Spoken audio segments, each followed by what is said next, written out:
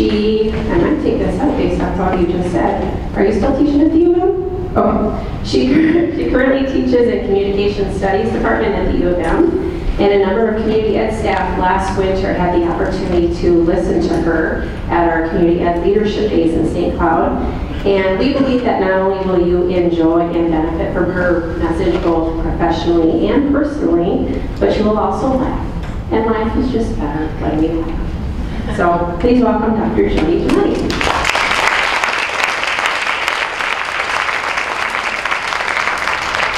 Everyone. Morning something really interesting happens when someone stands in front of a room full of people. It's kind of happening right now. And it goes something like this. Um, what do I think of you? And what do you think of me? And what do I think you think of me? And what do you think I think of you?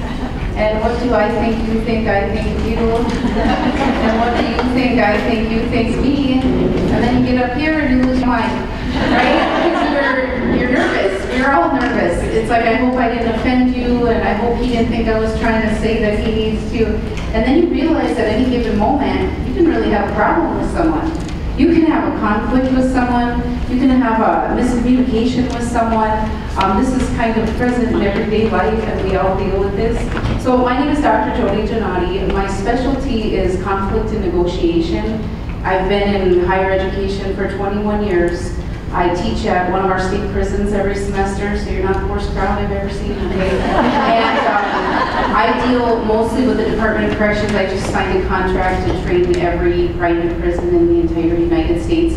So my staff's a little more intense, and I try not to bring that to like educators, but it can be a little crazy. So I do some profiling work and I do a lot on negotiating craziness out. So I'll give you some tips today on how to, you know, dial it down a little bit. I'm at a point in my career where you don't really even need to diffuse people anymore. You just got to get them confused a little bit and that's fine and then they'll just bring it down a notch.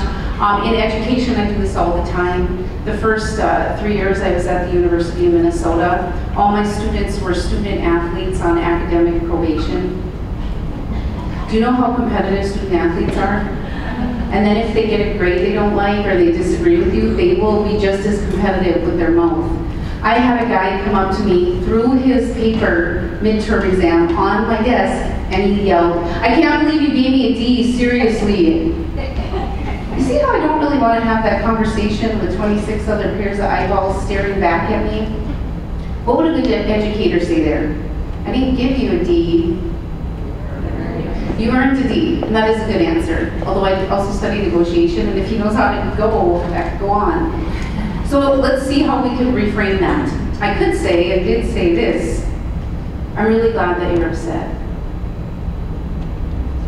Because up until now, I didn't even know that you cared about my class. I mean, you never come to class, you never turn in anything, and you never email me. He's like, yeah. Um, trying to say actually. I'm like, good, why don't you meet me after uh, class and we'll go through my grade book. Did you have any other questions? Did he? No.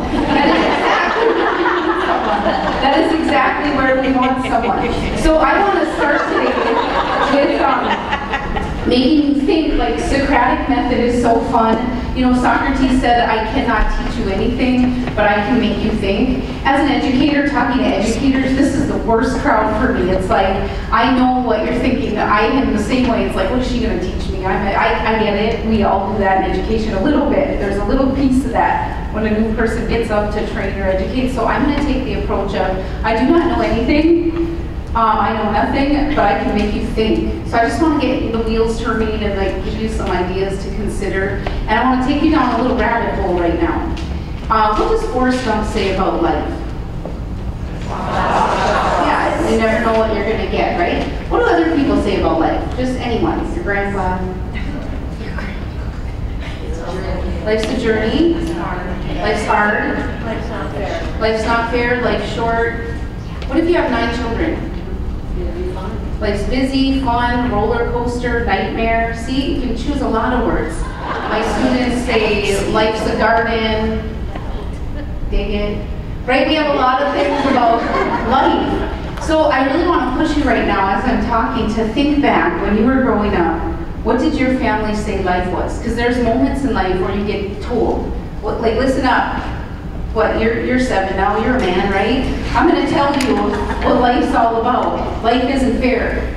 Life isn't fair. Wasn't fair for me. It's, who heard that story? Okay. There's some of us who never heard that story. So life is a journey. I have a sister, and she wears a necklace that says, it's not the destination, it's the journey. And then I have a dad who says, listen, Joan, life's a bowl of cherries, full of the pits. Okay, those two stories or narratives are very different. And um, let me just show you how a story affects your behavior because it goes a lot deeper than you first know as you scratch the surface. My sister lived with me for a while. My washing machine blew up and I threw a fit about that. And she's like, Jody, oh my gosh, like you have a life and you know what you're doing and I am so lost. And you know what, big deal, it's like a bump in the road, deal with it. A bump in the road on the journey to life. Guess what my dad said? Yeah, right when you pay off all your appliances, you gotta you gotta bet that one of them's got. I mean, you, you budgeted for that, Joe? You budgeted. Now you gotta understand, like life's a bowl of cherries full of the pits, and you gotta be ready for.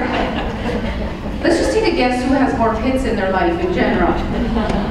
It's almost like what you think about, you bring about. We've heard that with the law of attraction, but it is so true. Even on this neuro-linguistic programming level, it is so true. So I just want to give you some things to think about. Are you hiding from your own happiness? I use life as a way to introduce this because I gotta believe we all have life. I don't know if we all have the same values and things, but we all have a life, so we can start with that. So some people say life is a gamble. I have an aunt who's like that. She had like a something she had to get removed in her brain through her nose, and it was very traumatic at the time. And they said, go home and talk to your family and decide if you want to do this or not.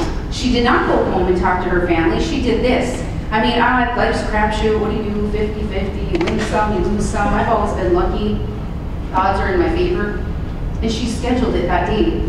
She lives her whole life with like a gambling metaphor. She doesn't even know she does it. And it affects her behavior directly.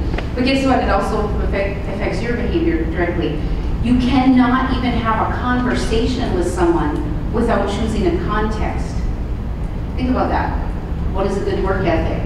What is trust? What is education? Oh my God, let's do education here. I used to teach a class, um, it was a doctoral level class at RBC University for their EDD um, principal and superintendent.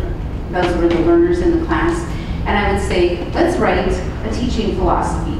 And of course, educators write perfect APA style, everything's great. I don't care about that. I just want to know, what is education? Like, what is your teaching philosophy? Who are you when you're standing in front of a room full of people? Here's some of the responses I got. Students are like lumps of clay, and it's my job to mold them into the future mathematicians, English major, okay. If I'm a lump of clay, do I like sit in your class and just listen or do I get to talk? Oh my god, that's so funny that you said that because I just had a review done and my and my supervisor was like, yeah, it's kind of like the students just sit there and talk. That's so funny you said that. I'm like, I didn't say that, you just told me that. students are like empty vessels and it's my job to fill them with the knowledge of, oh, have you ever had someone get up in front of you and talk to you like you're an empty vessel? You can kind of feel that, right?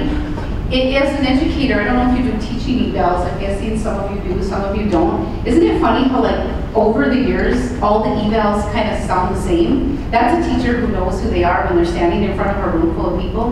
Wouldn't you rather like tell people who you are than having them tell you who they think you are? I, when I taught in this one classroom at the university, I'd walk in after an English teacher would leave, and the students would say, I'm so sick of that drama llama English teacher, oh my God. That one sentence, drama llama English teacher, told me the whole narrative about how she conducts herself in the classroom with the students.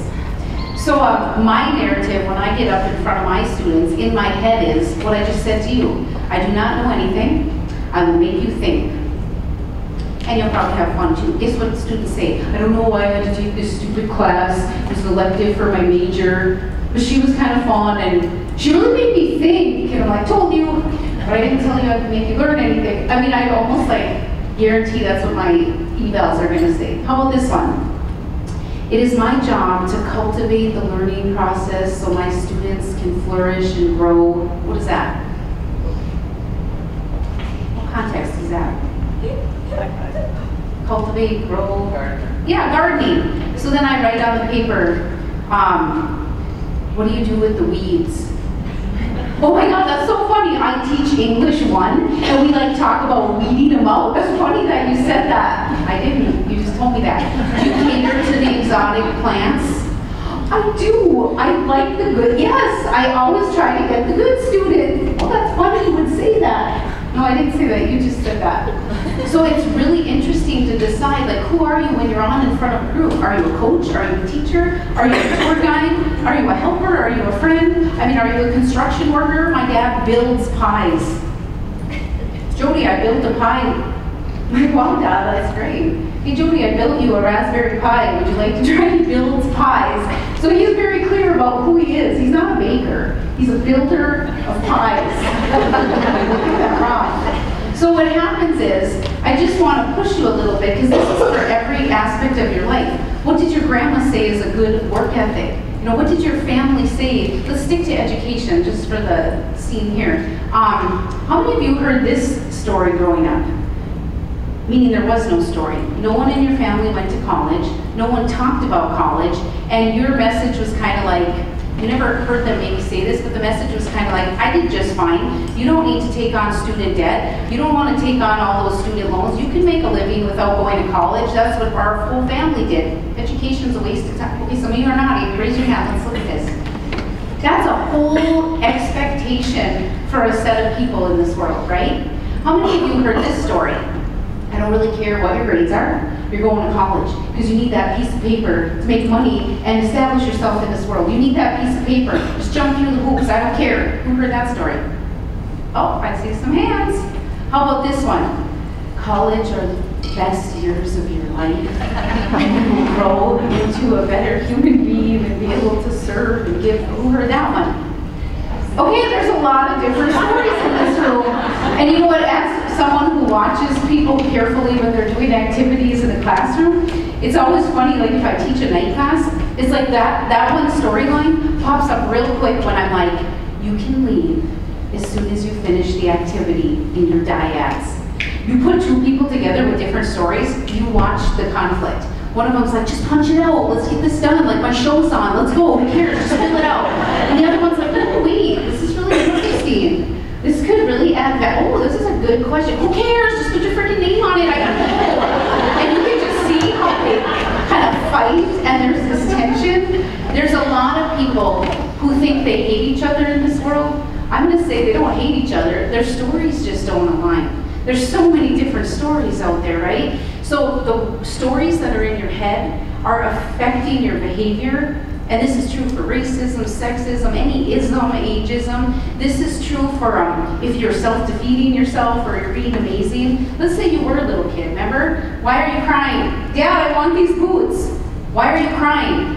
Dad, I want these boots. Please, Dad, I want, Dad, I want. Don't cry. Okay, listen. You're going to need to suck it up, Buttercup, okay? Because uh, life isn't fair, so deal with it. You know, I have to deal with it, and you're going to have to know. And I'm sorry to tell you, but like I said, you're a man now, you're like seven, so let's deal with this. and then the story is life isn't fair. Okay, fast forward 20 years, and they have a really rough patch in their life. And the story is life isn't fair. Who do they get to blame if the story is life isn't fair? Only if they're in therapy do they blame their parents. Okay, they get to blame life. You can't even find who to blame. So you end up saying the gambling metaphor. Well, it wasn't in the cards for me. Oh, she's lucky. Oh, well, you win some, you go 50-50. What do you do? I'll just lay down and die. And you see a lot of people who can't function because they can't blame anyone. What if you were seven years old and you're like, Dad, can I have these new boots for winter? And your dad's like, why are you crying? I want the boots, Dad. Okay, listen, you're not gonna get them just because you're throwing a fit. If you want something in this world, you have to figure it out. Go get a calculator. Go get a pencil. Okay, let's not cry. Let's figure it out. You're smart. Okay, how much are the boots? If you want something in this world, you have to figure it out. You can't cry. People aren't just going to give it to you because you want it. Let's do the math. And that kid figures it out. And then the story is, if you want something in this world, you've got to figure it out. Don't cry about it. 20 years later, they go through something difficult. What do they do? Who do they blame if their life isn't going well? Themselves. And they figure it out pretty quick. They're pull themselves up by their bootstraps, and they're like, I got this, oh my gosh, I got this. And then everyone else looks at them like, why are you so smart? And they're like, I have no idea, I just have a good story, I guess, I don't know. I mean, they're no more bright than any of the rest of us, but they at least have that motivation in their self-talk that pulls them forward. This is something to coach in your families, in your communities. I think it's funny when you get into like bigger in community involvement because one person will stand up and they talk about growing and gardening and then the next person stands up and they're coaching. The next person stands up and like i'm a tour guide i gave you the map follow the key i don't hold your hand. And then the whole community speaks different language. I mean you could change a whole uh, school culture by just agreeing on what is our context? Are we here to shine the light on, show you the, I mean, decide on a metaphor and then maybe share language across everyone. The parents will say it feels solid. The community will say, I feel like I know what they're doing. The evals you get will be solid. I mean, this is something worth thinking about. But on a personal level, it's really worth thinking about how these stories affect your life the angriest person I ever worked with one-on-one was a woman in our one female facility here in Shakopee. And her story, oh, in her head, since she was a little girl and she was raised by a single father and a grandpa, was every time she was vulnerable or showed any kind of emotion, this was the sentence that was screamed at her. Listen, life is just a little Twinkie that you keep on eating. I don't think she eats Twinkies. Okay? It's hilarious to someone sitting in here. It's not funny to her at all because you know there's a story, an implication underneath the implication. So if life is this Twinkie that you keep on eating, then it means what? Don't trust people. It looks all good and sweet, and you cannot trust people because it's always going to turn. There's an implication of the story. So I said I study conflict. Let me put it on conflict. Yeah, right? Let's say Deb and I are in a meeting with all of you right now, and we go at it. I'm like, you know what, Deb, you need to shut up. And she's like, you need to shut up. And then we go back and forth, and we have a big problem with each other. And then you are all like, oh my gosh, this is so tense. I can't believe that this is happening. And then all of a sudden, half of you walk with her back to cubicle land or whatever. You know that someone is inevitably going to say this. Hey, Deb, what the heck's going on with Jody? That's some crazy stuff over there, huh? She's now got to tell a little story, and she probably hasn't even thought about it. She's going to come out. I'll make it up for her to not put her on the spot. Let's say that she says this. You tell me what the context is. What if she says, oh, you know, Jody, she's like a freaking tornado. I mean, she comes in here and rips it up. She's hot one day and cold the next day. Whatever. It'll go over. She'll cool off. I'm not really worried about it. What's the context? Dealing with Jody is like what? The weather. And on a good listening day, not one of you would hear that. You wouldn't say like, Deb, you know what, Jody's actually really cool, calm, and collected. You're the one who needs climate control, actually. No, you wouldn't even hear that. You wouldn't even hear that she chose the weather zone, but your subconscious would. So you jump in the weather zone. You'd be like, I know, it's like climate control, duh. And now she just taught you, dealing with me is like dealing with the weather. And what's the implication of the weather? The weather is unpredictable, stormy, you have to navigate it, it can be hot cold and change on the dime. That's what she's telling everyone about me. And that's what we're doing constantly about, that's why when you meet someone's significant other, often you're surprised because the way they talk about them does not match the way you know talking about. Most of you know what I'm talking about. I used to work with a guy named Adam. I worked at Capella University for a few years. And um, we'd be like, Adam, do you want to get a drink after work? And he'd be like, oh, I gotta call the old ball and chain. like, that's awkward. And then we'd be like, hey Adam, what are you gonna do this weekend? Well, let's see if I can break free game on Sunday on my lockdown. We gotta think of the rat. so I'll just ask the warden. and then like, oh my god, so when we met his wife. She came to an event one day. We really pictured her as a little bit big and burly and scary, and she was short and petite very friendly. And we were like, someone actually said, "Oh my gosh, you're nothing like what we thought you were." and then she's like, "What do you mean?" I don't know. You can't put that stuff into words. You just know what you know. This is the same in families when like someone turns around and you're like, "Oh, yes, drill sergeant." Right? The whole family knows what that means. Or your friend group, you're like, well, aren't you the mother hen? Right? We have like these little stories that actually follow the whole behavior. So let's say that um, one of you grabs me after the meeting. Jody, what the heck's up with you and Deb? That's some crazy stuff going on. Watch how easy you can hear it when your brain's listening now. I'd say, um, oh my gosh, did you see the way Deb attacked me in that meeting? I'm not going to sit here and like let her defeat me. I mean, what does she want me to do? Wave a white flag? Like, ooh, Deb, I'm so afraid of you. Seriously, isn't she new? She's on our turf now. Yeah. Can you hear what that was? That was going to war, or conflict, or battle. On a good listening day, now one of you would say, actually, Jody, she's really quite peaceful. I don't know what you're talking about. You would hear it, and your brain would just jump into the story. Do you see how this is everywhere? And then the two of us get in the hall together, she's like, hi, did you cool off? Did it blow over? I'm like, oh, hi, are you giving in?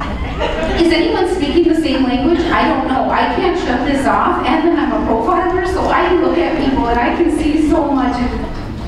Okay, so um, let's just try to think about that. So Ram Dass, Ram Dass says, turn your melodrama, melodrama into a mellow drama. Isn't that like a million dollar question? So we're to kind of think of some strategies there. So Socrates, who I love, had a lot of filters, and he would talk about Socratic questioning and things. This is the way I coach my own children, so it's just something to be mindful of. Before gossiping takes off, because gossiping is a whole problem of its own, when someone brings something to you, particularly in a coaching moment with young people, you might want to stop them and say, what you're about to say to me, do you know that it's true? you know, is it good? Is it going to help anyone? Is it useful? And it just, you know, nip complaining before it starts and even coach for it in people. A lot of times people spend a lot of time complaining. I don't know about you, but I'd rather sit with people who like want to focus on the positive and do something great in the world, not complain about all the bad things in the world. So that's just something to remember. I would also say that anger is one letter short of danger. Yeah, I bet you knew that. Here's some thoughts on anger on a behavioral level. Movement will bring people to more anger. I think if you experience anger personally, don't you realize that you move more when you're angry? You flail your arms, your eyeballs go crazy. If I could write another book, I would call it Eyeballs, because eyeballs are so significant. The study of nonverbal communication through your eyes is called oculesics. I mean, if someone's lying to you, their eyeballs or pupils dilate, so get up in there and check it out. There's all sorts of things that happen with eyeballs. Per gender even, I mean, it is so amazing on what eyes alone can do. But think about it, if someone brings a problem to you and they're like, can I talk to you for a minute? Do you ever notice how their eyeballs go right to the door? Like, what? Huh? Or, oh, the mail looks, Or are you still yelling at me? I'm gonna just check the mail then. Or they get on their phone. People love to avoid contact do you know even in a prison, if you walk too fast, the dog notices you? Why are you walking fast? I'm not, I'm not. I mean, movement triggers anger thoughts in people, like anger messages, like this could escalate. What does Dora the Explorer say to Swiper? Swiper knows, and she does this. This is a universal nonverbal hand gesture. Don't forget about this gesture. When someone's starting to bring it to you or, or get excited and they're waiting to see what your next move is, with keeping just a robotic to neutral face, if you put your hand up, it kind of shows them a pre-paving of what your next move is probably going to be. And this clearly says, I'm not going there with you, I'm not doing this with you, I'm not interested in that. That is a good transition into you speaking to let them know like it's probably going to be calmer than you first thought. Dora is great. Half the time Swiper takes it, half the time he doesn't. Isn't that called real life? Good job, Nickelodeon, teaching children. Some of you have seen um, that acronym for fear, false evidence appearing real. That goes back to the narratives in our head. I know people who are afraid of snakes in Minnesota. Like they scream like a young child and run crazy, and then you're like, why are you afraid? Of, well, I don't want that thing to wrap itself around my neck and kill me.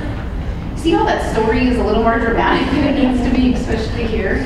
Um, a lot of people are afraid of cats. Yeah, remember? We are Siamese. I mean, so weird stories in your head about cats that probably aren't true across the board. I remember going through a weird moment um, where I watched some murder show and they were like taking a syringe and putting air in your veins so when it hits your heart you explode and die. And then shortly after that I had to have an IV and there were like bubbles in the bag and I was like, no that's not gonna like go in my, um, those bubbles don't like, and then when it got uh, empty fluid, I'm like, no, is air gonna go in there? I was like obsessing about blowing up because of these. I mean, a thought gets in your head, and that false evidence will make you crazy. You talk about racism. I was down in, um, oh, was it Faribault?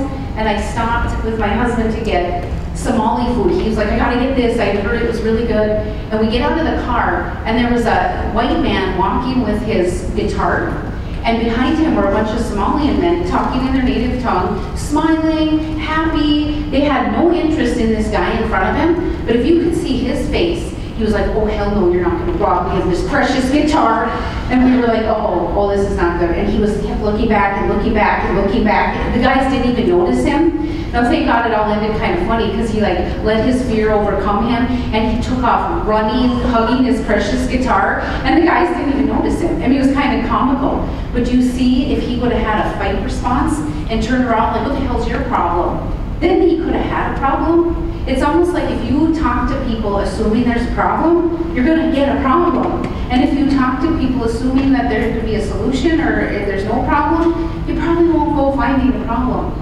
I work with people who are deemed the worst people in society, and I'm the first to tell you they're not that bad. In fact, most people are good people. Most people want to like themselves in the mirror at the end of the day. We're only dealing with 1 to 3% of the population being a true sociopath. We're good, okay? We're good. A lot of that is just a bunch of hyped up stuff. Most people are good people. So, worrying is using your imagination to create something you don't want. This is where I get into a mindfulness. I never understood like when it first came out, like Eckhart Tolle and be mindful and mindfully washing your dishes. I was like, I don't have time for that. I'm like, I gotta milk, butter, eggs, cheese. I gotta fill the soap in the bathroom and birdseed, grandma's birthday stamps, stamps. I mean, my brain is on hyperdrive all the time, which I'm sure a lot of you can relate to. But then I put it through my filter of studying conflict. I'll show you what I got out of it if it helps at all. I asked myself, are you, is your mind full or are you being mindful? Here's where it helps get it right in your self-talk. If you really look at anger, anger is not an emotion. Anger is not on the emotional scale. Anger is a result of other emotions. So that's where I call like, oh, that's really interesting. Because what are the two things that make up the feelings underneath anger or stress? It's worried or hurt. So now you sit, if you're sitting here right now and you are worried and have anxiety, your brain is probably thinking about something in the future. Like, oh, I don't have enough money to pay my mortgage this month. I don't know what I'm going to do. How am I going to lose all that weight to be in that wedding? Oh my gosh, I have only a couple more weeks. You, you worry about something that hasn't even come yet. If your self-talk, your intrapersonal communication is stuck in the future, you can experience more worry and anxiety and then get angry at people around you.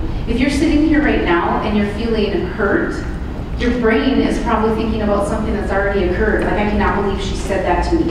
I cannot believe he did that to me. I did not deserve to. So, this is where I can personally get behind mindfulness. It's like, yes, focus on the now. How do I know that I'm healthy? Because I'm here and I'm healthy and I'm breathing.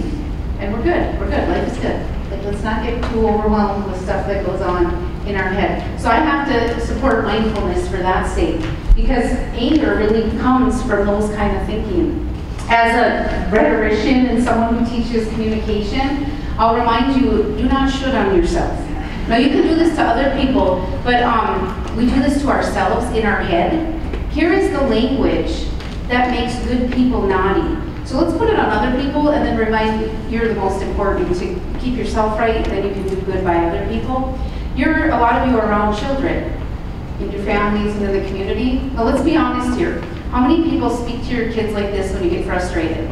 You need to get in the car, wash your hands. No, you don't talk to me that way. Give me your iPhone. You are done. Get in your room. Okay, put your shoes on. We need to go. Oh no, you don't talk to me that talk to kids like that. Like all of us? Okay, that language is the language of resistance. People say the we hurt the ones we love the most. You've heard that, right? Here's how I say it. We should on the people we love the most. So if you want to have better integrity, here's the words to eliminate from your vocabulary. Should, shouldn't, you need to, you have to, you can't, don't, not, stop, you ought to. It's really hard to even communicate with people without those words, right? Especially when you have to give directives, like you need to wash your hands. I've seen good preschool and kindergarten teachers, Ella, you may wash your hands. And my daughter gets up and washes her hands. I'm like, who the hell's that kid? I mean, it works. When you take resistance away, it's amazing how good people cannot be naughty. And it lessens the tension for naughty people. No, you're all good people, right? Let me just show you how easy it is to make good people naughty, let alone naughty people. Let's say I live in your apartment and I go knock, knock, knock, knock, and you open up the door next to mine and I say, hi, um, some of us actually get up and go to work in the morning. I would appreciate if you could turn your television down. Thank you. What are you capable of right now? Murder. She said murder.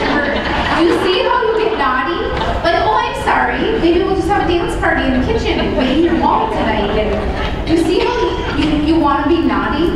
Resistance communication gets good people to get snarky. I go visit my dad. Hi, Dad.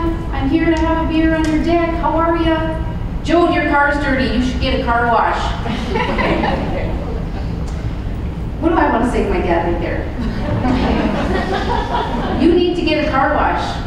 Like, you need to shut up. I mean, we get a little bit like put off when people say you should cut bangs and you need to, let's not do, so if you want to be better personally, be really hard on yourself about that language. Do not allow yourself to say those words to people. That could become a whole thing where if you have to direct people, you sit down with your work group and go, now how can we say you need to fill out these forms without saying need to? It could be a fact and then an awareness. Like fact, there are some forms that need to be filled out before you can participate. Would you like to fill them out today or do you want to take them home with you? Choices are good, right? You just want to think about the way you dialogue with people. It lessens resistance. I want to take this resistance piece a little further because it's concerning to me who deals with a lot of people who are a little more tightly wound and then they pop off and hurt people in society. Um, let me just say it this way. On a neuro-linguistic programming level, your brain cannot understand the word don't, not, and stop as a verbal command. What does that mean? That means if you were going to shove a fork in an outlet, what would someone yell to a kid? Stop, don't, you're not going to touch. Every one of us has probably had someone in our life yell don't, not, or stop to us out of anger. And you know, children are only, humans are only born with two fears. The fear of falling and the fear of loud noises. Guess how loud a voice usually is when they use the word don't, not, or stop? Pretty loud. So it's pretty fair to say that the vast majority of us have like a reaction to those words. Like I remember when I got spanked, or I remember when I got violently removed from the area after someone yelled stop. I mean, most of us, when you hear don't, not, or stop, there's something that just triggers you whether you realize it or not. And then to add on top of that, you can't understand that. I think you know that working with kids. Don't touch. What do they do? Don't run. Stop yelling at your brother! And then I'm not! And then everyone's yelling. Your brain is no smarter than your dog on this one, okay? What if you say to your dog, no treats, bad dog, you are not, no. You see these treats? These treats are going on top of the fridge. No treats for bad dogs. No treats. What does you think the dog hears? No, not for you, you're Okay, see how it's ridiculous to argue with don't, not, stop? And this is just another thing to be mindful of, because people do it all the time. I'm not judging you or anything. I don't want you to think I'm trying to say that you need to Um, don't look now, but you're never gonna guess who just walked in. I told you not to look. Why did you look? Now we're all looking over here. Or you come to a meeting, hello everyone, and thank you for coming to this impromptu HR meeting. Let's not panic. I don't want you to get upset. I know that there's been a lot of rumors going through our community. Uh, we are not going to be laying off a third of the workforce, and then she has a triple coronary and dies.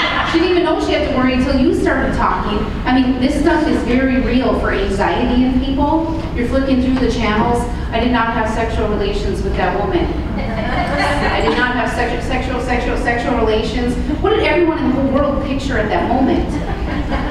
Sexual relations with, he had that micro expression that showed he was lying. Really? That was a great moment. What did Nixon say? Nixon said, I'm not a crook. And you remember that because that's how significant your brain gets into words don't and not. You cannot turn this off. In fact, watch, I'll just show you. Please do not picture your favorite ice cream in a see-through dish on the table in front of you. Oh my gosh, it's running down the side, it's gonna hit your pant leg. Please do not picture the layout of your kitchen and where the stove is and the refrigerator.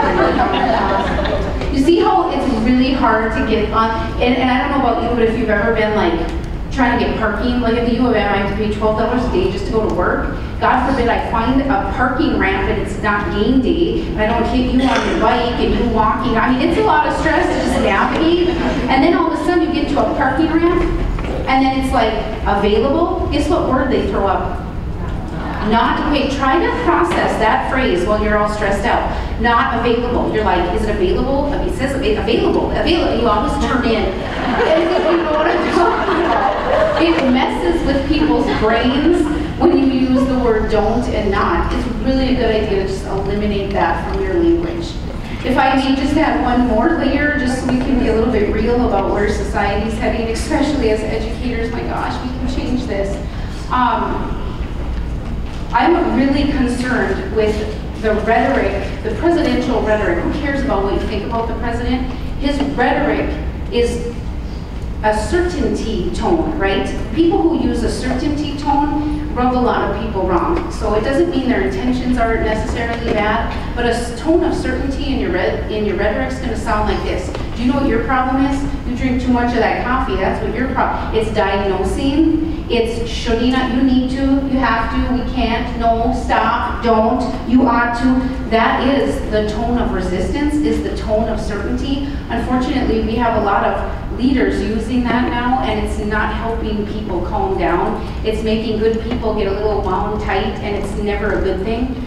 That, in my opinion, coupled with suggested sales, is becoming the downfall of America. Oh my gosh, I really believe we got to get behind this.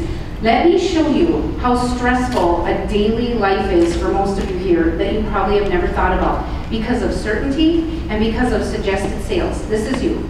You wake up. I'm going to change the world and help people, and I'm going to make a difference. I need my Starbucks or Caribou or whatever. So you go to the coffee house. Hi, I'll take a vanilla latte. That's it.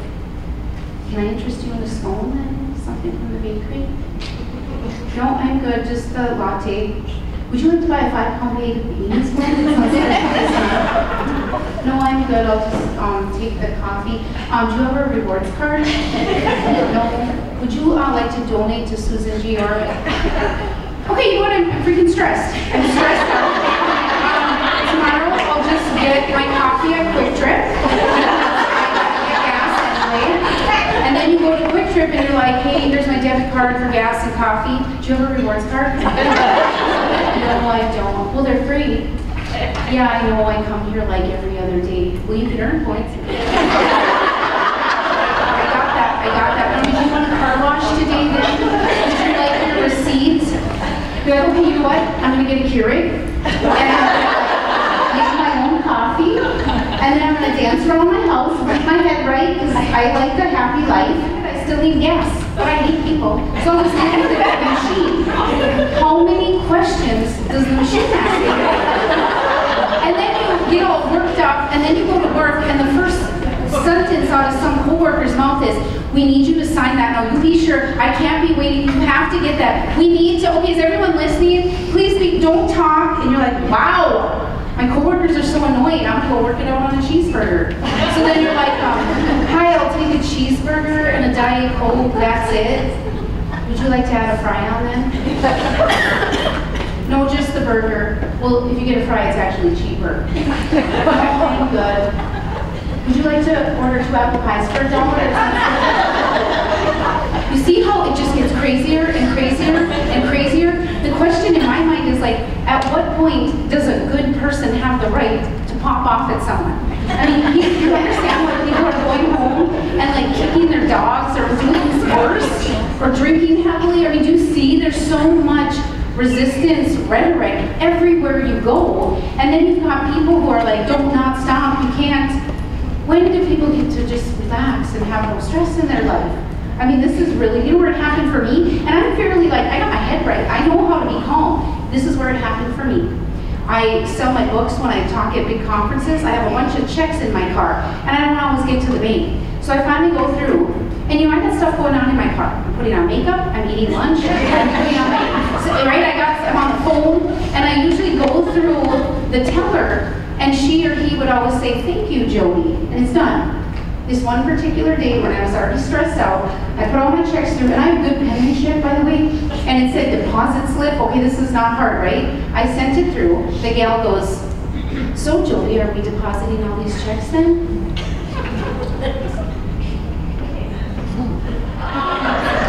Yeah, yeah. So did you want some cash back today, or is this all just gonna go in your checking account?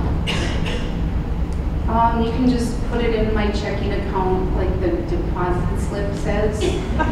Now, Jody, um, do you have bankers every day on hand until three o'clock if you want to talk privately about your banking needs? Oh, I'm sorry, I didn't ask that question. No, we're just letting everyone know. Now, are you taking advantage of our bill pay system? Okay, at that very moment, I was gonna be really mean. In my face and in my voice, I was just gonna let her have it. I, I wanted to say, just shut up. Like, can you not see that I don't care? I mean, I had said it nicely three, four times. I literally didn't even look at her. I just looked straight ahead. I put the window up and I just waited. And it was still mean. But it's still mean. So you get to a point where you're like, what is the right thing to do in these situations? Like, what are you supposed to do? You either go home and eat a homemade Doritos, or you just, I mean, this gets very real for most of us. So just a reminder for the visual people, the words in the tunnel or in the funnel are the language of resistance.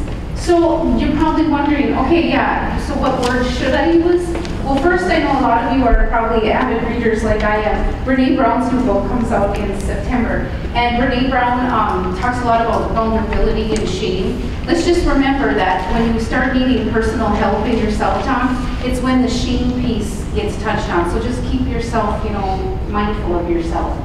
It's very normal to feel guilt, like, oh, I did that, right? When you start saying, I am bad because of what I did, that's where you want to watch your mental health. Shame is something like, oh, I deserve that bad thing to happen to me. That's not a healthy thought, right? Humiliation, I didn't deserve that. I, I was recently humiliated. I was speaking at um, a national conference for 2,500 people, and I left my wireless mic on when I went to the bathroom. And some lady came running in, and she's like, oh my God! And I was like, hi.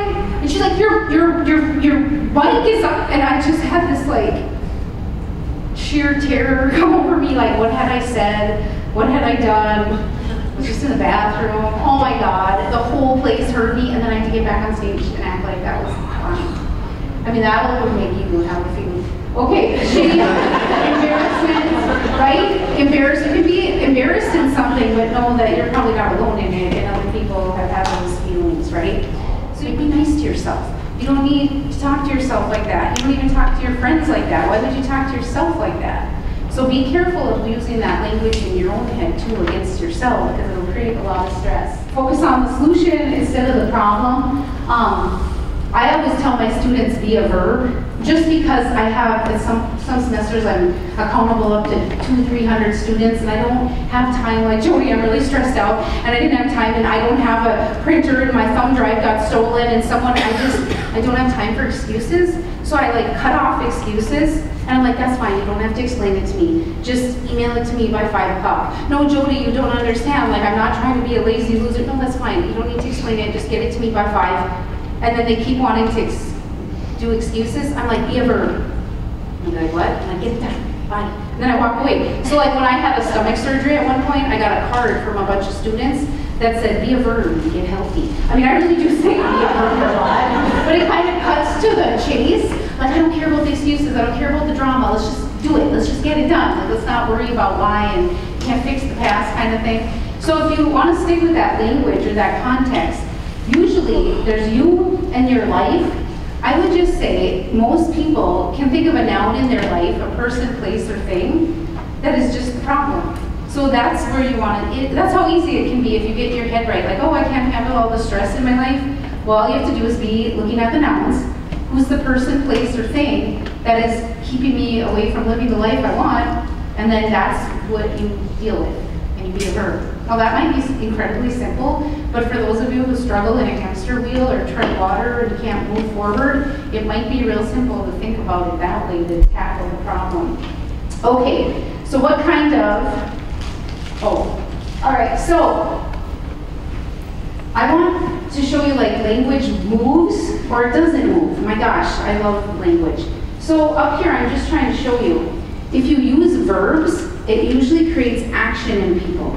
If you use nouns or adjectives, it might get people to calm down. Now you can read the examples that's on here. I also put business cards on the table. For anyone who wants a copy of these, I'd be happy to send them to you. Maybe I can even get them to one person if you have all the emails. But um, what I'm saying is, without even reading what's on the screen, let's say that you want to deal with some difficult situation and you're stressing out about it and you're like, I don't know how to approach this person. Let's say that it's two people in your meeting who always talk, but they're good people and you don't really want to make it a big deal, but they are so annoying because they always talk during your meeting. If you grab these two people to talk to them and you use a pronoun, like you two are very rude and you were interrupting the meeting and you were loud. So if you start using like pronouns and verbs, they're going to get defensive real quick.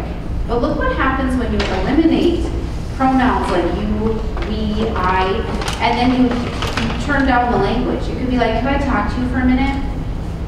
The constant talking during the meeting has become an issue. See how there's really no fight in that? The constant talking has become an issue. They're less likely to rebuttal if you use language that's instead, do you think people are smart enough to understand the constant talking equals your big mouth? Yeah, people are really smart. But it's just a nicer way to do business with people. So it's like a mindful thing again. It's a choice thing. So what are some words that I like instead of the naughty words? First of all, in your own head, have you ever noticed that you can become a victim pretty quick? Or you can empower yourself pretty quick? There's a word that triggers that, which you might not have looked at. What did Yoda say about try? Do, do or do not. There is no try. In other words, try is a lot. Try, if you say you're trying, you're lying.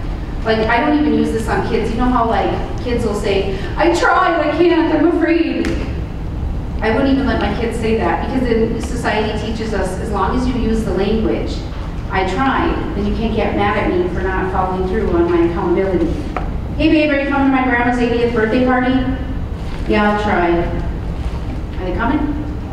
They coming? They're not coming. But because they said they tried, you're not allowed to get mad at them. So I'd say you're either doing or not doing, same thing as Yoda, but he said it cooler. People who use the word try are kind of excuse makers, so if you're one of those people, just be mindful of it. The word can't and don't, for some reason in your intrapersonal communication, one is limiting and one is empowering. Have you ever noticed if you say, I can't lose weight, or why can't I ask him out, or why can't I just ask for a raise? You will lay down and be a victim.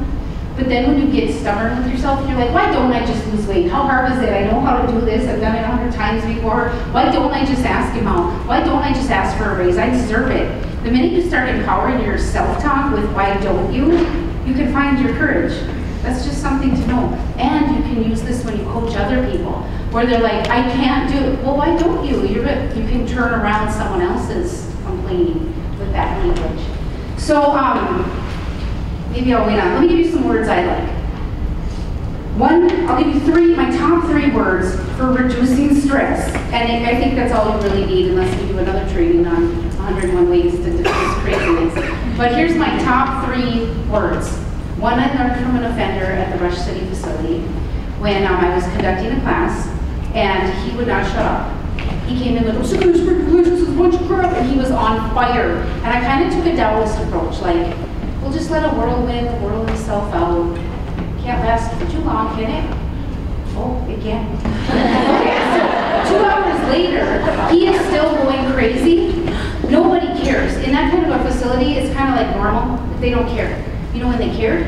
They cared when I said, okay, you guys, tonight we're going to do some homework in class. So you're going to, at your tables, work on it, put your name on it, and then you're going to get your grade for your group effort. That's when they care. All of a sudden, a couple guys up here were like, shh. You've all seen this go down too. Do you know it goes down the same way in a kindergarten classroom as it does in a meeting like this, as it does in a prison? Except for the prisoners get up quicker, like, what did you say? And then they get thrown in a hole for three weeks, and that was worth it. I mean, they're just quicker to pop off. But it's the same thing. And the rule is, if I don't take care of business, guess who takes care of business? It's the same everywhere. Haven't you seen that when someone's conducting a meeting, two people are talking, up here they'll be like, shh, and they look at the facilitator. If the facilitator's like, they'll take care of business. They'll be like, would you guys shut up? Some of us actually want to hear what she has to say. And they're like, oh, she doesn't care, relax. I mean, have you not seen this go down? It happens in every context. So I realized really quickly, these guys are looking at him and they're like, shh. I'm like, oh my gosh, I know this rule. If I don't take of business, they're gonna, and it's gonna go, and I've seen this, and I'm not, no, we're not doing this. So I try every teacher trick I know. First trick, stop talking. I bet a lot of you use that, right? As soon as you stop talking, where, where do the talkers look? At you. Are you looking at us? Yeah, so shut up. I mean, that works really well. That didn't work. Next strategy I use. When I'm handing things out and I get over to his table, I get right up next to him. And I don't look at him or acknowledge him. He's still talking. I'm like, okay, you guys, put your name on your handout and you're going to have about 25. This is like, shut up. Yeah, you. And when you're in someone's proximity, it usually works. I bet you know that. But just remember, if you um, have people who are talking, if you slowly walk towards them without acknowledging their existence, and then you hang out right next to them, they'll shut up, usually. And then you walk away, and they start talking again, then you go back, and they're like, oh my God, do you do that? Because, yes, so shut up. I mean, it's like a really nice way to get people to comply. I mean, do you remember what I said in the beginning? You don't always have to diffuse people anymore. You just confuse them and dial it down. It's not worth the big battle. The word I'm trying to show you in that sentence is prefer. That's your new favorite word. I would prefer that there's little to no talking. We have a lot of things to go over in the next 20 minutes. That's nice, right? That's a nice way to say shh. Prefer. You can be terse with it. But it's not like, you need to be quiet. I, I would like you to be more, we can't be, what are you, a Nazi? Like, be nice, be nice to people. So prefer could be your new favorite word. I would prefer you don't sucker punch your brother in the face. I would prefer that we go to this restaurant, actually. Prefer is a good word. I'd say use it. Most people will not go off with that word. There's two other words that I really like that I would like you to remember. Marshall Rosenberg talked about nonviolent communication in the early 1990s. He also did those weird puppet shows. For those of you who read his work, he was kind of different. But I like his rhetoric stuff. He did a lot of nation-to-nation -nation stuff that we don't need to get into here. But on a communication level, he said most people are pretty mild to neutral with the words uh, feeling and need, and in that order. Now you probably are like, yeah, I've heard that. No, let me apply it for you and make you think a little bit. And then you might tattoo them on your wrist because it's such a great set of words. There's not a place you can't use this. In fact, the Chinese symbol for, um, it's not conflict. What is it? I don't know the actual word. It just escaped me. I'll think of it at 3 a.m. Oh my God. The Chinese word for something like conflict is danger and opportunity superimposed. What is the word?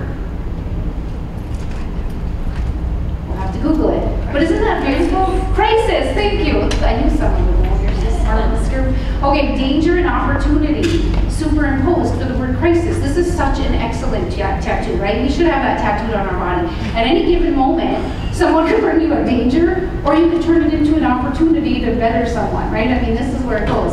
Feeling need is the set of language you need. So let's do this across the board. Most of you have a child somewhere in your life. Okay, I have a daughter, Ella, and when Ella was going, I have two girls. When Ella was going through, um, I called it a tactile dysfunction phase. I'm sure one of you knows the actual name for this phase. But you know when it's like, my tape hurts my back, my socks hurt my feet. Do you know what I'm talking about here? Okay, so there's a word I'm sure for that. I called it a tactile dysfunction phase because she was so irritating. I had to cut all the tags off her sleep dresses and everything rubbed her the wrong way. It's so irritating. So one day we're getting ready to leave and I'm like, Ella, let's go. We're running late. She's like, Mom, my socks hurt my feet. I'm like, no, they don't. Let's get in the car. Mom, Mom, my socks hurt my feet. I'm like, Ella, we need to go. Like, let's go. She throws her socks in my face. Like, Mom, my socks hurt my feet. You see how you want to use one of those naughty words there? Like, you need to get in the car. You can't. That's it. You're done. Stop. You see how you just want to go nuts? You could do this. Ella, sounds like you're feeling a little frustrated with your socks. Do you need me to help you? No. Do you need me to get you another pair? No. Okay, well, I'll be in the kitchen, you know, drinking heavily. Let me know if you I think I got a lot of it. Okay, the point I'm trying to make here is you can abandon a child with this language. You can abandon a child with this language. Mom will be in the kitchen. Let me know if you need anything. If you leave a need on the table, in other words, tell me what a kid does if you abandon them with this language. I am done. I am done. I'm not listening to this. You're done. I'm, I'm done. I am done. And then you leave. Tell me what the kid does. They chase you, they follow you, they hulk it out. Like, Dad, Dad, Dad. It gets so crazy for most people, right? Now you can say, okay, buddy, Dad's gonna be out in the garage. Let me know if you need anything. So feeling need, don't, don't underestimate the power of this language. Let's do another one. I told you I do some profiling. My dad, sister, they're never going to get each other. Journey, Pitts, it gets worse. My dad is a conservative Republican who has an intimidator profile. He can't read nonverbal communication, that means emotion in general. He um, played football for Notre Dame, and he his body physically fills the doorway. And he's intense, right? My sister joined the Peace Corps at one point. She's on a journey. you know how tense their conversations get? This is a good example of two people who will never get it. They're not going to get it. They can't even understand each other's narratives, so why try? You can use feeling need to get two people who are never going to get it to divert away from the conflict and get rid of the stress for you and for everyone. Watch how tense this gets. So Kelly, you're going in, I'm cooking dinner watching this. So Kelly, you're going in the Peace Corps, huh? I just don't get it. I just don't get it. I just don't get it. I just don't get how a college-educated woman is going to go all the way over to a third world country. I'm trying to wrap my brain around this. Yeah, Dad, um, I'm on a journey, and I just want to help people. Now you're going to go live in a mud hut out in Africa? I'm just saying here. I'm just saying here. Yeah, Dad, I, I can see why you would say that, but I just want to serve people. Do you see how bad this is going to get? Are they ever going to get it? Uh-huh. So you can use feeling need if you understand both parties' issues and then divert it. Just paraphrase it for them. Dad, Dad, sounds like you're feeling really frustrated because your baby's going overseas for a couple years and you need to know she's going to be safe because you love her and you're worried about her, right, Dad? Yeah, Joe, that's what I'm trying to say. spaghetti? Spaghetti, anyone? And then you just divert to something else. To divert Okay, relationships. Have you ever noticed that you're so nice and politically correct to people you don't even like in the community or at work? And then you go home to your significant other and you're like, you should see yourself. You're a freaking nightmare, seriously. and they're like, well, I don't want to be a nightmare. What should I do? I don't know, grow up or something. I mean, people are mean, right? When they get distressed. Did you ever consider this thought? The issue is the reason you have a difficult conversation with someone. So if you're not real clear on what the issue is, you shouldn't be talking to them because it's just going to go nowhere. You're unprofessional.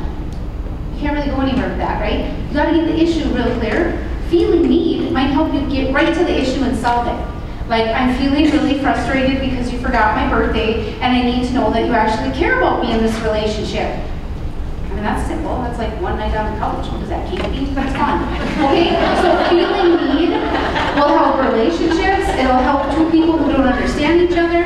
Helps you with children that you can abandon before you lose it. Let's do another one. Um, You could even divert away from some, you know, when I said, what do you do if someone brings it to you or puts it on you and you're like, oh, I don't want to deal with this right now. If it's not a crisis, there's no rule that says you have to handle their problem right now. So you could say, wow, I'm feeling really concerned about what you just told me, and I need some time to look into it. Could we meet after the two o'clock meeting and regroup on this? Most people are not gonna get mad about that, right? They even maybe respect you for looking into it or processing it. But maybe it's a way to divert away from anxiety in the moment. Let me give you a way to call out your team members or colleagues or people that you work with and want to keep a nice relationship so you don't have any stress. You could do this. Um, can I talk to you for a minute? And they're like, eh, what? Um, I was feeling really frustrated in the meeting this morning because you were rolling your eyes at me, and I need to know that we're on the same page when we roll out these new policies.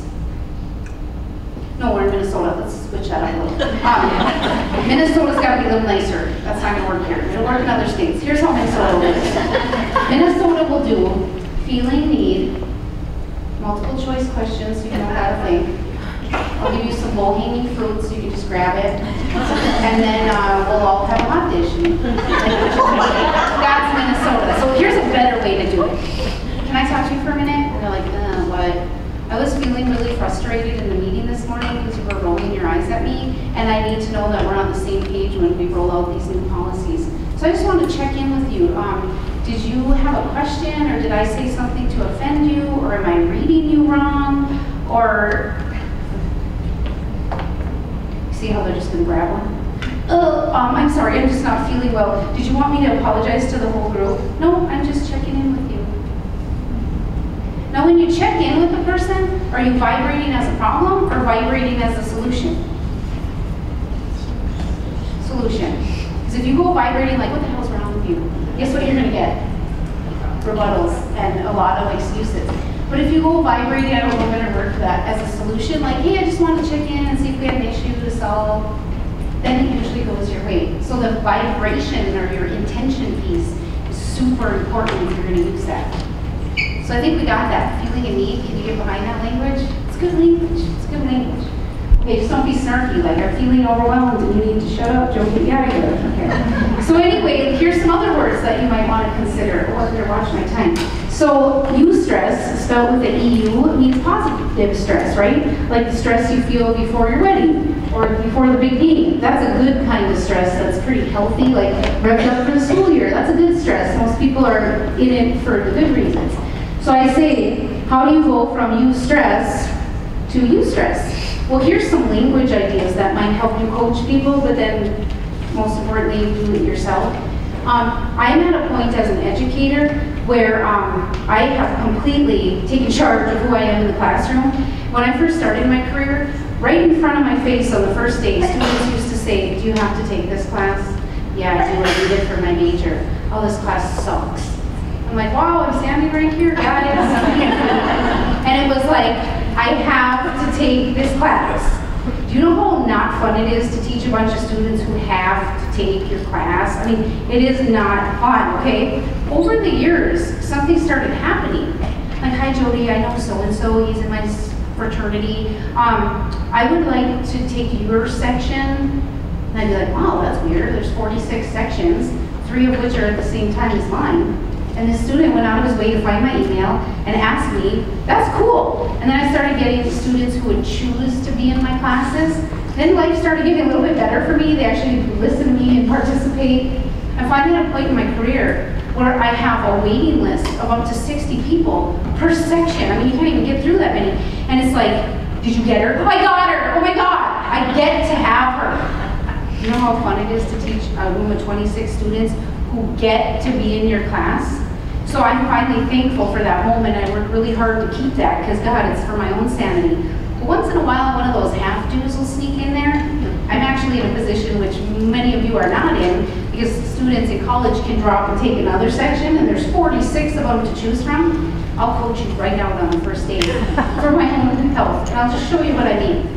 People are looking to be victims a lot. You know how you catch a victim? This is how I catch a victim, first day of class. Yeah, did you have a question? Um, do we have to do a typed outline for that first presentation? Uh oh he just asked me a question. It had the word have in it. What does he want me to say? Yes, you need to.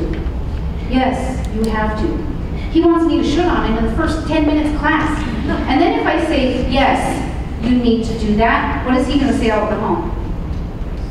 She's making us oh no, oh no, no, you're not going to make me into that I'm not to let you be a victim. It's the first day of class, and I'm of fun. Like, chill out and see if you like it first, right? So watch how I do business. If you knew me, I am the dumbest, most dingiest professor, and so nice until it's time not to be. And I've learned like dumb and dingy wins. So here's what I do. Oh, thank you for that question. If you have that question, I bet everyone does. And they're like, oh, it's pretty line itemized. Okay. Well, let's go through this. Uh, my syllabus says um, when we get to the presentations, if you choose to do the presentation, it's worth 60 points. And if you choose to accompany it with a typed out handout outline, it'll be another 60. Yep. So do, do we need to do one then? Oh, I'm sorry, I thought my syllabus was clear here. Um, let me just go through it so everybody's on the same page. If you choose to turn in a typed outline to accompany, then you're choosing to get the points. Um, what is she saying, you guys? Because I, I have a, like, you're out of here, you're out of here, done, I'm done, getting you out. And I have. I've had those really awkward moments for my own sanity and for theirs, because they want someone who will shut on them. It's part, it's called control drama, right? There's a whole training you can do on that. I'm not going to be the best teacher for this guy anyway. So I'll take him after class and I'll be like, hey, I noticed that maybe our communication styles are different, and I just wanted to remind, remind you that there's um, 46 other sections of this class, and I would not take it personally if you choose to, you know, drop it. And I'll, if a teacher said that to you, would you out of there? Yeah, they do. They're like, I'm terrified of her. And then they drop, and then I get to let a get to person get in off my waiting list, and then I'm good for five months.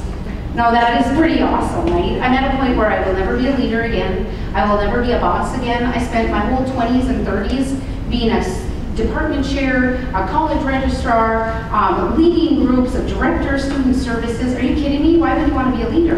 All you do is deal with other people's problems. Really? You got problems? Get in line. I got, okay. so anyway, do you see how you can coach people with this? This is how you coach even, let's just look at this. Um, Kids, listen, kids, listen, the neighbors invited us over. I'm so excited because they're so nice that I, but you know what? You're gonna need to have your manners on. Now they are from another country, another culture. I don't know if you've ever tried the food they're gonna serve you. You're gonna eat it. Do you understand me? Now I don't care if it looks funny or different. You be polite and you're gonna eat it, okay? Do you understand me? Is that kid gonna eat it? You see how they're like, I'm not eating that crap. they haven't even been there yet. See how you can create resistance in people on the front end? We have to meet before Christmas break to update the policy and procedure guide. Who wants to go to that meeting? we need to get this done. See how you can't really encourage people around this language? What if you say to your kids, hey you guys, listen, the neighbors invited us over and they're serving that food that mommy really likes. I don't know if you've tried it or not, but um, I think you will. Can you, listen, could you have some manners tonight? Now, sometimes it's scary to try new things, but could you just try something on your plate? Just to give it a try and show that you have manners, and could you do that? See how they're like, hmm, probably not. But there's less resistance there. What if you coach your kids on the front end like, oh my gosh, guess what? The neighbors invited us over and they get to, we get to eat that food. You get to come too. It's that food that mom really likes. You get to eat it too. I'm so excited. See how that kid's probably gonna eat all the food and not even think there was some problem to have? So you might want to say like, you know what, you guys, we have a couple days, this, this calendar I'm talking to your world, and you're like, we might have a chance to get this done ahead of schedule. That's how you motivate people. They get to do it. They don't have to do it. But the medium ground is always you can choose to do it. So that, I do that when I have a potential problem with a student. Like I'll teach a night class and the student will be like, Jody, oh my gosh, hold on. Oh, I know your class starts in like five minutes, but I have to go to work and I was supposed to present tonight. You're not going to take points off my presentation, are you? I don't know. Let's syllabus says. Oh, look. It says here, if you don't contact me within 24 hours of a scheduled, you know, then you're gonna lose this many percentage points. Jody, oh my gosh, I, okay, this, I'm, I'm a really good student, like I'm on the E honor roll. I am not a freaking lazy loser. Look, look, look, look, look, look, see, see, I have to go to work. I have to go to work. That's why I'm here, so you wouldn't think I was bad. I'm like, I don't think you're bad. No, you don't understand. I have to go to work. And then I'd say, well, then you should choose to go to work. No, Jody, I'm not choosing to go to work. I have to, I want to be in your class, but and that's fine. I've made a lot of choices in my life too. I understand. No, Jody, I don't want to get it. Okay, hold on, hold on, hold on. You're at like an eight, and I'm going to take away this percentage of this many little points. Is that really going to affect you? Yeah, it's not like I'm failing, right? No, not at all. You know, I've made a lot of tough choices, and sometimes you just have to. Yeah, it's not like I'm a fail, right, Jody? Yeah, you're fine. I can do it next week. Yeah, you can choose to do it next week and get the points and just miss. Oh shit, I'm late for work. Bye, Jody. God, you're the best. Now I'm a cool teacher because I didn't shoot on you and be like, yes, you need to take the consequence. Everything becomes a choice, and then people become more accountable and people become more responsible. When you give people the choice, you give them the power, and then everyone equals out, and it's really easy to do business with them. So it's like, if you choose to speak to me that way again, I'm going to need to call security, and I mean, that's why I talk in the prisons. I'm going to get mad. And then after they take him away, if some guy's like, I cannot believe he spoke to you that way, I'm like, well, he chose to do that, so he chooses to miss our awesome class, and then they'll laugh. Not normal, right? I'll go home and eat big chips or something, but let's just say in the moment it helps. So there is this whole thing about tolerate versus allow. Now I just want to make a clarification here, just on the connotation of, you know, words have meanings, because um, there's a lot of trendy books and I'm, I read a ton. In fact, Berkeley is leading the research in um, bliss, the the research of happiness, and I bet a lot of you have read books. Like, what's who knows the number one self-ranked country for happiness? Who is it? Yeah, Denmark. So Denmark has been self-rated number one. Are we on that list, by the way? No, we are not. So um, probably my favorite book related to all this, and there's many books out there, great research, is the one called The Geography of Bliss. It will make you think. So the researcher basically used to do uh, war-torn reporting countries, and then he had a moment in his career where he's like, wow, I like to travel, but I only get to go to the bad countries with all this drama. I want to go to the good countries and travel. So he went to Berkeley, I believe, and he said, who are the top 10 self-rated countries? I want to go visit them. And being a journalist, he couldn't help himself. He turned it into a book and everything. But what he did is he spent like a month or more in each country, and he talked to the people. And he said, why are you happy to live here? What makes you happy? And then what he did is he did what we did earlier. He listened to everyone's stories, and he heard the root metaphor of the whole country, and then he turned it into people in Switzerland are happy because, and their word was efficiency. That was his metaphor. I know that the train will be on time. I can eat off of a public restroom floor, it's so clean. We have Swiss Army knives, and we don't even have an army. We have a Swiss banking system. I mean, everything about Switzerland that the people said they were happy about was efficiency. So the book makes you think, would I be happier if my life was more, I mean, it's a good read just to get you thinking about what makes you happy. Um, Iceland's on the list. The book metaphor comes down to something about create, creative expression, mostly in the form of poetry at a bar with vodka your friends. so then you think, okay, if I could creatively express myself drinking with my friends, would I be happy? Yeah, I think I could do that. Okay, Denmark's word was, I'm happy to live in Denmark because people are tolerant.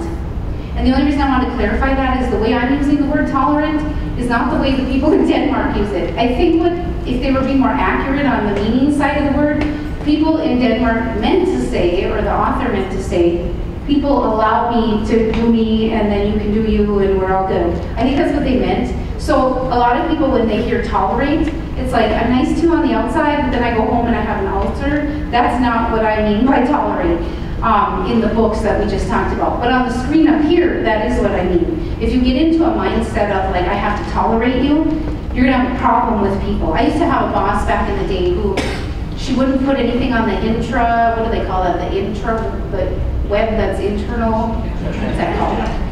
Intranet, yeah. So we'd be like, hi Kathleen, I need a time off form. And she'd be like, oh, sit down, I am so overworked and underpaid, I'm gonna tell you about it for the next 20 minutes. You'd be like, oh my gosh. And you would appease her, like, oh, you poor thing, you work so hard, and they don't respect you. I mean, she would suck you into the drama. The whole time, guess what you're thinking? Who cares, who cares, who cares? Why don't you put this thing online? This is so inefficient, right? So you would tolerate her. And then after a while, you learn, like, it is that he puts it in his belly, but anyway, it is what it is. So you learn to allow it, and then you get normal in your head. Like, well, I need to go to lunch, but I'm not going anywhere today, so I'll go get my form, and that can't take more than 25 minutes, right? So I'll still get another half hour. For, Okay, good. And then she starts talking, and then you're like, there she goes. She's a bulldog. Yep, here we go. And you can have fun with it. If you allow things to occur as they're occurring, you'll have less stress. But if your brain starts tolerating it, that's where a lot of problems come up. So, allow versus tolerate. Here's some language I would suggest. Remember earlier I said don't shut on yourself? And then some people might go, well, what do I say to myself then? Well, maybe you talk to yourself the way that you talk to your friends. Like, I can figure this out. I don't need to know the answer today. I am smart. Let's make a pro and con list. Okay, this is fine. Like, I've handled worse than this. It's everything you would normally say to your friend, but I'm just asking you to turn it on yourself. Because again, if you can calm down, then hopefully you can calm other people down. So look at your choices. I will say that the research talks a lot about positive pivoting. There's a whole new uh, genre in psychology called positive psychology. Like you can get a master's degree, maybe even a doctorate in that now. It's right on the leading edge of quantum physics and everything, and I love it. But um, they do a lot around positive pivoting. If you're someone who really gets in a rut, I don't know why it works. I will tell you, you have to do it for 38 seconds in order to shift into the next thought in your brain. Why? I couldn't even tell you. But um, 30, I do do this, by the way, and it's goofy, but it works. Like, um, let me tell you how it works. Do you know how if you have to go to a family holiday, and even like a couple weeks out, you're like, oh, I do not want to go to my brother's house. His wife is so annoying, she's probably not going to put towels out, and I'm not going to know what to eat, and oh, her kids are, you know how you just start that little narrative, like, I don't want to deal with her, and I don't want to deal with him, and they're so, and then you're not even there yet, and you have all this drama that's building up. This is how you get yourself to be mindful of catching yourself telling negative stories before it happens. And then to get yourself right again, you positively pivot for as long as you can hold it. Now, I live in Duluth and I work at the U of M down here. I got a lot of drive time, okay? And I also listen to like two books every day on Audible, so I are really smart. I try. Okay, so I gotta get over that um, stress of it all. So here's what I do. Sometimes when I'm driving, I do this I can keep it going for like 20 minutes and it's goofy, you don't want to do this around people, and it works. Like try it, I really, so there's some prompts up there. All you do is you tell a story out loud about everything that makes you happy, and you don't lie to yourself. So you can't say like, oh, it feels so good to win the lottery. No, you didn't win it, liars. So don't get excited. you can't lie to yourself. You just have to be like, um, get your head right. You're like, you know what? I am feeling good. The sun is out today. I have been drinking more water. You know, it feels good to drink water. You know, it feels really good to do what I love and get paid for it and meet a bunch of great people. I am impacting people every day. I get to be a role model. I can choose to be a, you know what, I love that new down comforter I got. It is so soft. It was totally worth the money. You just talk about your pets and your kids and oh, I can't wait actually for Thanksgiving because I'll get to see my brother. And you know, I love when the grandkids are all together and I love taking family pictures and it's so fun to have the cousins hang out. That's what you do. You just say the positives and then once you start, in an emotional level, it, it really is like a high, so you just keep going until you get goofy and then you hope no one's recording it. Yeah. Okay, so another thought. Oh, every spiritual tradition says turn the other cheek. And a lot of people get offended by this, um, especially aggressive people. They're like, why? So you can punch me on the other side of the cheek? Do you know why I love this saying? It, it resonates on such a deeper level. Um, does anyone know what Mother Teresa said when they asked her if she would march against the war in Vietnam? What did she say? She said she would never um, march against something, but if you want to be for something, she would. Yeah, so she said, I will never march against anything, but if you walk for peace, I'll be there. Oh my gosh, that was such a profound thought. Such a profound thought. In other words, do you see how society is kind of crazy right now? Anytime you push against something, which again is resistance, all that language we talked about is resistance, standing against something is resistance. And we're back in the 50s on racism because we're fighting racism. You can't fight anything and expect it to go away. Remember when Nancy Reagan was like, this is your brain, this is your brain on drugs. Any questions? You do realize that we did not have a drug problem in the United States until she started talking about the war on drugs, and then drugs blew up, and then all of a sudden we, I mean, really think about it. When you fight bullying in schools, what happens? Everybody starts going, bully, bully, bully, oh, you're bullying. Oh my gosh, I get tons of calls as a conflict and negotiation professor. Um, hi Jody, can you come and talk to us about how to talk to Smallians? Okay, that question is your problem. Hi Jody, can you come and talk to us about aggressive uh, preteen boys? Yep, that question is your problem. Hi Jody, um, could you talk, could you talk to us about anti-bullying campaign? Uh-oh. Nope, I will never come there, but if you want to know how to teach peace, I'll be happy to do that in your school. Now, I know a lot of you probably deal with bullying, you gotta change the language of that. You can't focus on fighting bullying and think it's gonna go away. It'll just blow up before your very eyes, and we're seeing that. In fact, people are like, hey, I hate these people. I'm gonna start a Facebook page and you should like it, and then we'll all hate them. And then we'll just beat that drum until it gets bigger and bigger, and we'll just stop it by getting bigger and resisting it. No, it just grows. You know, I teach at Fond du Lac Tribal and Community College two days a week up in Cloquet, and my best friend is an Anishinaabe guy named Everett. And him and I just were talking about how that whole movement took place when they were protecting the pipeline. This is why it was so confusing. Nobody fought anything, remember? Or they didn't say they were warriors. What did they say? Peacemakers, or your water protectors.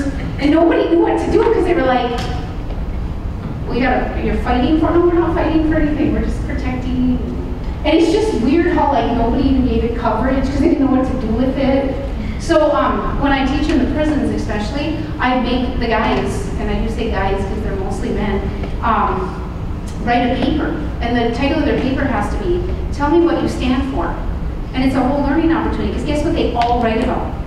What they stand against. I hate these people, I hate who, I hate when they do that, I don't like, I'm not gonna put up with, oh, well that's what you don't want, so what do you stand for? Do you stand for like brotherhood or humility or family? What do you stand for? No, I hate people who are, well what do you stand for? And then I look at their tattoos and there's a lot of resistance going on. And a lot of times what people think about, they put on their arms and things, right? So it's a whole learning exercise to then talk about. And then I make them rewrite the paper taking the opposite of what they don't want and turn their other cheek and say, thank you for showing me what I don't want my whole life. Now I'll turn the other cheek and look at what I do want, and then I'll stand for that. That could be a good activity for some of you, right, to do with your people. But um, I'll say maybe you've got to ask yourself that. Like, what do you stand for when you're on in front of a group of people? Instead of, I'm not willing to put up with, and you can't use your cell phones, and you have to listen, and no talk. Maybe you say what you stand for, which I know educators are good at. What are our rules, and what do we want to see? But that's something to remember, turning the other cheek. I think conflict's good. Here's my opinion on conflict. We live in a world of resistance and diversity, because if everyone were the same, God, that would be boring. And then you come up against something you don't want or don't like, and your job is to go, thank you for teaching me what I don't like to eat or don't like to do or what kind of boss I don't want to be. Thank you for helping me understand what I do want. So now I'll just turn my other cheek and go for it. But you see people like, oh, look at her. What a lazy loser, seriously. And you're like, I thought you got divorced like eight years ago. I know, but look at her. She's just still in the same rut. Wow, you've been looking at her for eight years.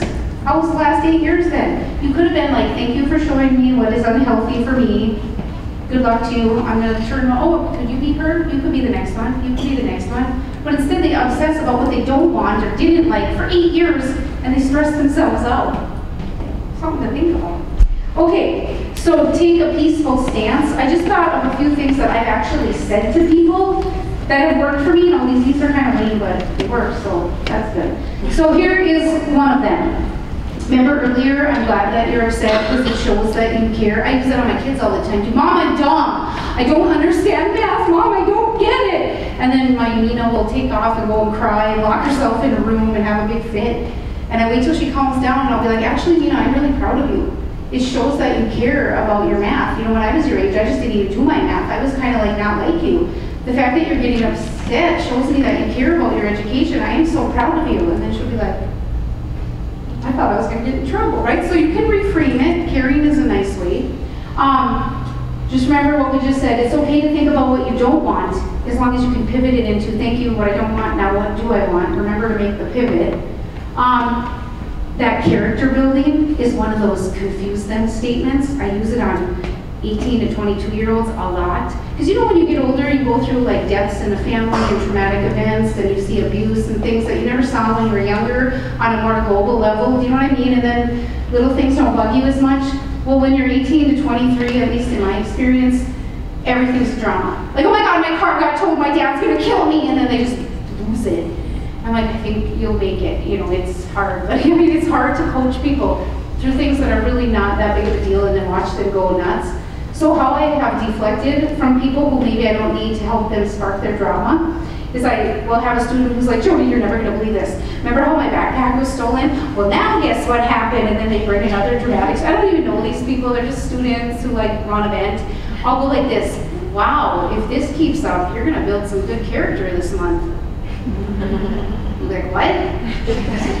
like, you've been through a lot. You're gonna have some strong, this is like a good character building moment. God, you're weird. but I mean, it's kind of a nice thing to say, like, I'm really not gonna keep talking about this with you, but I'm trying to spin it to the positive.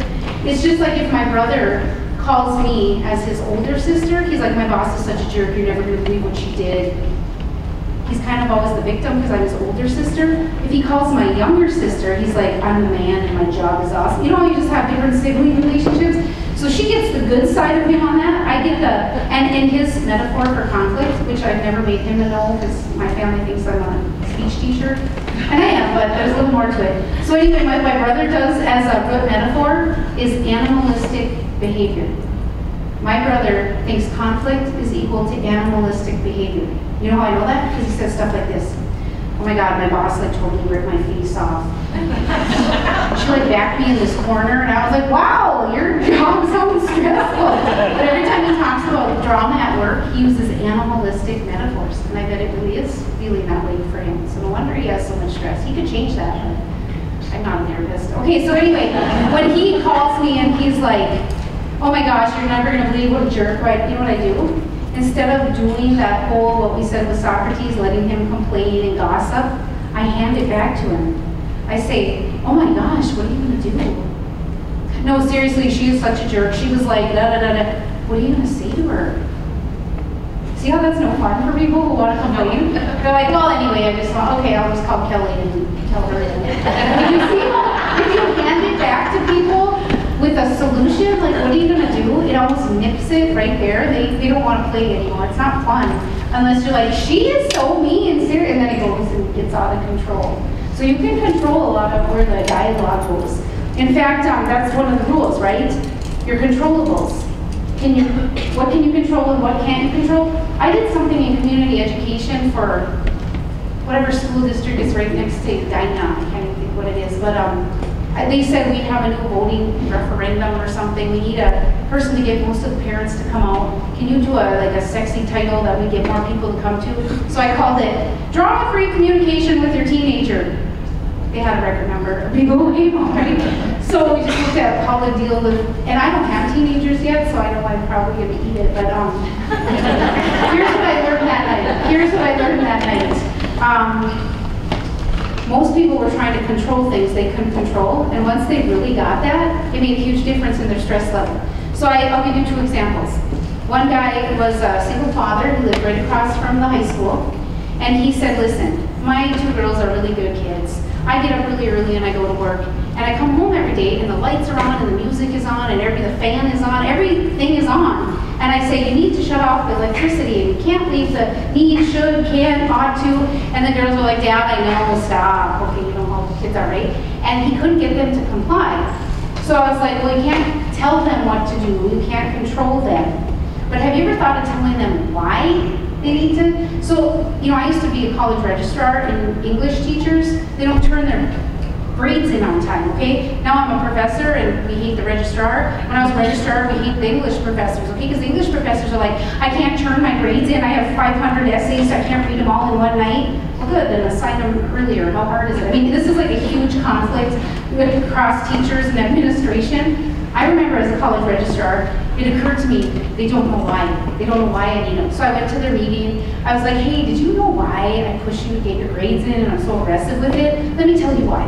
As the registrar, I have to input everyone's grades, and then I hit a button that rolls the grades onto all the students' transcripts across the entire university. I can't hit that button till your grades are in. And in the meantime, we have VA people waiting for their benefits and work compensation, and we have people, and then the teachers are like, oh, that's kind of a big deal across the, yeah, it's a big deal. So when you tell people the why, sometimes they can get on board quicker. So I said to the dad, did you ever tell him why? And he's like, what? And I'm like, when you were that age, did you understand that electricity costs money and toilet paper is something you have to buy? Or, I mean, did you understand that? And he's like, not really.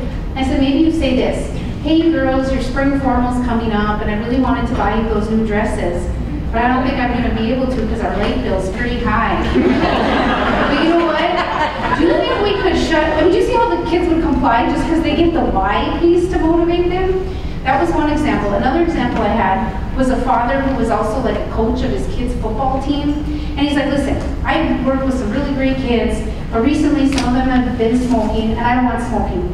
And I don't know how to control this. Like, what do you do? And I was like, well, what is your rule? I told my kids they can't smoke. And I said, well, you can't control that. You're damn right I can control that. People, wait, that's not what I meant. And I said, what I meant is, if you are at and someone comes up to your son and is like, would you like to have a smoke? You can't control that because you're at work. So you're going to get crazy in your head thinking you can control that and then shooting on your kid all day, right? So what could you control? As the football coach, do people want to hang out at your house? Yeah, we have like the house where everyone hangs out. That's what you can control. You can say, hey guys, I noticed that some of you are experimenting with cigarettes. I don't allow cigarettes in my house. I don't want anyone underage smoking, let alone have it around me. If any of you come in my house with a box of cigarettes or you smell like cigarette smoke, I'm gonna ask you to leave. And you can control that, right? Or you can tell his kids, if I find out so-and-so is smoking, I'm not gonna let you stay at their house, or you can control that. So that's another question, is what can you control? And then you all know the willing, able, able, willing. I want you to take a couple minutes though, and um, in your head, or if you're a writer, think about someone who really irritates the heck out of you. And I want you to go crazy in your head using those naughty words, like you should shut up, and you need to get a job, and you should pay your child support, and you should quit drinking. And you know those thoughts you have about the person that drives you nuts? This is actually a good methodology. In other words, the next time you get angry with someone, I would suggest that you vent about it in writing. Don't put their name on the paper because they might find it one day. And um, you should use all the negative words when you vent. And then all that negative words will show you what you don't want, right? So then you can get your mind clear, go for a walk, come back, and say, now that I know what I don't want, what do I want? And that question will help you find the issue. And remember I said the issue is the reason you have a difficult moment with someone? And if you can get it right, you have less stress. So if you wrote, you need to shut up during our meetings, you need to be more professional overall, and then you go for a walk and you come back, and you're like, okay, what do I want? I want him to refrain from being on his cell phone all day at work. There's your issue. Can I talk to you for a minute? And then you nominalize your language, get rid of the pronouns, not you're on your cell phone all, no. The constant uh, use of your phone at work has become an issue. I wanted to talk to you about it. See how easy that could be? So venting has its place as long as you turn it into what you want. But I also will tell you that you turn your complaint into a request, right? What you don't want to what you want. But I also want to remind you that what you think about other people is what you actually do to them. That is projection 101. That's why at the beginning of the meeting, the opening comments were how much your self-talk affects the way you treat other people. Mm-hmm. Here's my dad. I get out of the prison down in um, and I have to drive all the way to Duluth on like a Wednesday night, just so I can be there for my kids in the morning. Do you think I want to drive that far after a 9 p.m. let out? So I get on my cell phone. Here's my dad, all aggressive on the voicemail. Hi, Jody, this is your dad. I'm like, wow, that was factual. Um, I would appreciate a call back, preferably tonight. Love ya.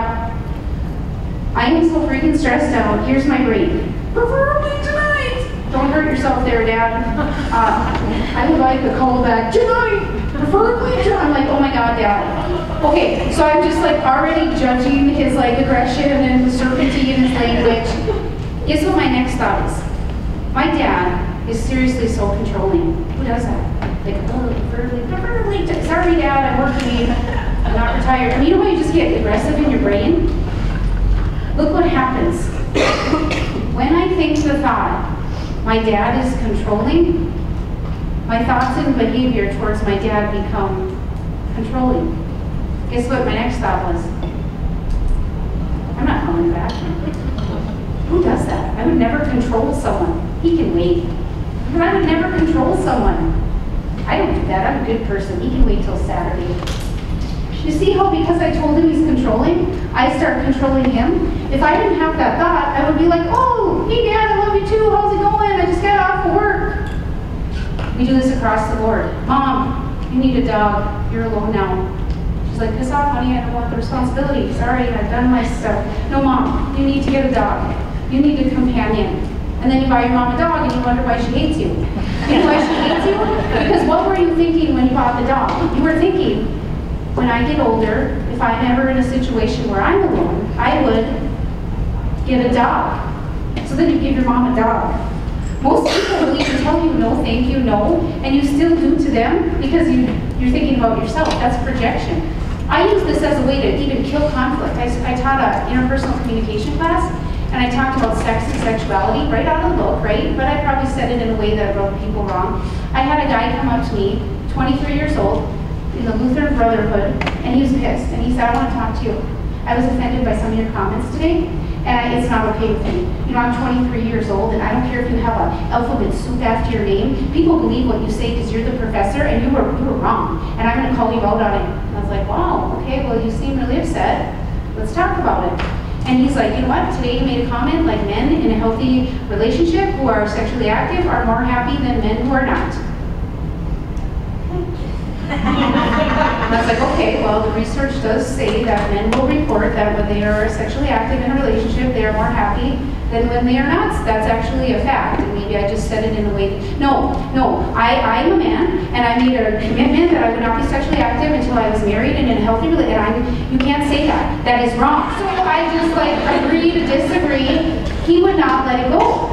So then I'm like, okay, this is bigger than me, right? This is not about me. Watch how easily projection takes on its own course. Okay, what is he doing right now? He's trapping me in my classroom and he's pushing his personal views of sex on me while he's accusing me of doing it to him. That's what we all do. I had a babysitter once. My I had four night classes and um, I needed a nanny like at night, but you know you don't want to transport your kid from a bed to a car when they're sleeping. So I kind of wanted someone to live with me, and then they would be on at night. She was awesome. She was a lifeguard during the day, so she was never at my house. I got to pay her less because she was gone. Or I mean, because I, um, sorry, because I did the laundry and fed her. One day, she did not get there on time. In my mind, I thought I said, Carissa, every day I want you here at 5.30. I don't teach till 6, but I like to leave early. I thought I said that. No, I never said that. So in my mind, I thought I was leaving at 5.30. In reality, I was leaving at like quarter to 6, because you know you kiss your kids and ding around. The one day that I had to be to work on time, she wasn't there. It's like 5.30, 5.29. I'm out there with a diaper bag at the time, and I'm like, car, open door, where is she? It's pretty aggressive, right? But I'm important tonight, and I gotta get to work. She comes up the driveway a little too slow for my liking. I usually transition with her, like, okay, they ate and we're gonna do baths. No, not today. I'm like, I need to go. And I hand her the kid, and I get in the car. I think I gave her a stink eye in the and then I am pretty good about writing and driving and doing all these multitasking. So here's me while I'm driving, writing. Carissa is, is irresponsible. Carissa is rude. Carissa needs to be more kind. Carissa needs to. Okay, is this funny to anyone yet? Every single thing I wrote in that piece of paper, I did to Carissa. Carissa needs to be responsible. Okay, how responsible was I in the driveway transitioning with her? Carissa is rude. Okay, how rude was I to every single thing I accused her of doing? I did to her. You see how this really is a tool? You could even believe me when I say whatever you accuse people of, you probably did to them. Right? It's like you you accuse your significant other, you never tell me anything. So when they finally are excited to talk, they come to you like, what's going on? Nothing. It's not like you care, loser. You never listen to me anyway. And then you don't talk to them, accusing them of never talking to you and telling you anything. I mean, we're doing it all the time. So what I could have done with Carissa is I could have cooled off, assume that I know that I did wrong because I wrote it, and go, hey Carissa, can I talk to you for a minute? Did you uh, notice that I was a little rude um, when we transitioned? Um, maybe you could see I wasn't being very responsive. You just suck it up and admit you did it. I promise you, you did it. Just think about that. It's a good way to stay mindful of your own behavior, right? There's not enough bad people in the world to make you a good person. So we're all guilty of it. Okay, how do I want to end this presentation? For the few folks who may have heard me before, it's my favorite story, and I am a storyteller. It's my favorite one. It's going to make sense though with stress. I lived in Burnsville for 10 years on a cul-de-sac, and this was before having children. Don't live on a cul-de-sac, right? Because it's like, oh, you got a pizza, you got a new washer and dryer. Like, you don't want to be living in a circle because people know what's going on. And then I had a neighbor named Phyllis, which God forbid no one knows her because look where we are. But um, her name was Phyllis, and she's very sexy, 65-year-old widower, um, hip and trendy realtor. We called her something like freaking Phyllis. And um, Phyllis was incredibly in your business and shooting on you every five minutes. She told me so many times I should plant in my flower boxes that one day I ripped them right off the side of the house. I mean, this woman can get you, okay? So she knows how to shoot on you. My husband's name is Molson, like the beer. It's not hard. She called him Muhammad for 10 years, okay? My name is Jody. I'd write it with a Sharpie on her Christmas cards. She called me Joni for 10 years. So Joni and Muhammad are living next door to her. And she would, I just gotta paint how bad this woman can make you crazy because this is gonna get bad quick. She would get us to do stuff for her all the time. Muhammad, could you uh, let me borrow your chainsaw? Can she use a chainsaw? Guess what he did all day? Cut her boughs. You know there's those people who can just get you to do stuff for them?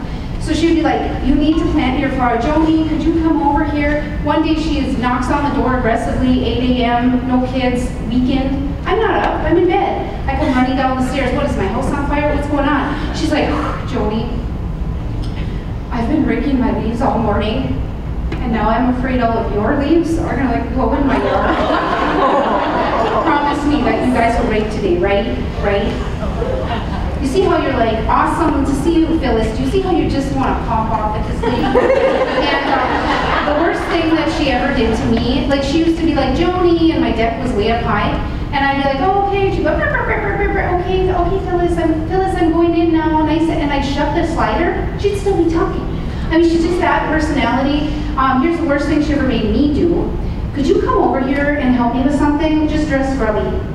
Now, this woman's always to the nines. I'm like, this cannot be good. It's like 3 o'clock on a Sunday. Here's the pitch she gives me. Now, this was back in the day. She goes, um, you know how I'm into sales and money and stuff? And, well, there's a new business. It's called spray tanning. And in order to sell it, I gotta get tan. So could you spray tan my naked body for me? And I did. So this woman can get you to do stuff, okay? This woman is my guru teacher, and I'm not kidding you. There's a reason the universe made her my neighbor. And at that moment, I had the biggest epiphany of my life. Number one, as a conflict trainer, I've been lying to people for a decade at that point. I had been saying, you just don't plug in. I can fake it on the outside, but on the inside, I go home and like, you know, work it out on some cake or something. But the truth is, Phyllis was living what I was pretending I was living. She taught me a lot that day. Now, in case you don't see where I'm going with this, students say, it is what it is. God, I hate that sentence because nobody's living that reality. You know who says it cooler? Byron Katie is one of my favorite authors. Byron Katie. She's in her 80s now. She's amazing. She's guru level. She says, when you argue with reality, you lose. But only 100% of the time. Guess what language you have to use to argue with reality? You need to stop drinking. You can't talk to me that way. You should pay your child support. You're not going to be late again. Do you under? Byron Katie would walk in and go, Do you know why I know she was supposed to be late again? Because she was. It's called reality. Why are you arguing with it? And it would end right there. Now, I'm not saying we condone other people's behavior, but you see how it stops just short of fighting against something? That's where the stop is, right there. Phyllis showed me where you stop. If you start arguing with reality, you start showing people what you stand against, and you start shooting on them, and it grows and it grows and it grows and the drama grows. So what did we learn today? I have no idea. okay, what did we learn? Do not shoot on people. We have three new favorite words. What are the words? Feeling, need, prefer. And when you get to a true impasse with someone, that's the answer. What do you do? It's a choice, and then what do you do? Jody, I, I can't get a B in your class. I need an A. I'm going to go to graduate school. Listen, if you choose to turn, you can choose to turn that in still. You have until tonight at five. No, Jody, your class is like a low-level class. I have big assignments that are due for my upper classes. I have been here every day. Can't you just give me the points? No, I don't give away free grades. But if you would like your grade to turn into an A, you can choose to do this worksheet, get it to me by five, you'll get the points. Jody, you don't understand, like, if it's gonna keep being an impasse, it's like denying, defending, counter-attacking, you give, listen, here's what it is. If you choose to do it, you choose to get the A. If you choose not to do it, you're not gonna get the A. Yeah, but Jody, what do you do? That is the answer. If you say it without sarcasm. It's like, what do you do? It's like your choice. What do you do? It's a choice, and then they complain. If you play into the complaints, you're right back in it with them. So that really is a good end statement for a true impasse. Give them a choice. They have to act one way or another, and then if they rebuttal you and try to start it up, you're like, what do you do? It's on you, it's a choice. Thank you, and hopefully you'll have less stress this school year. All right?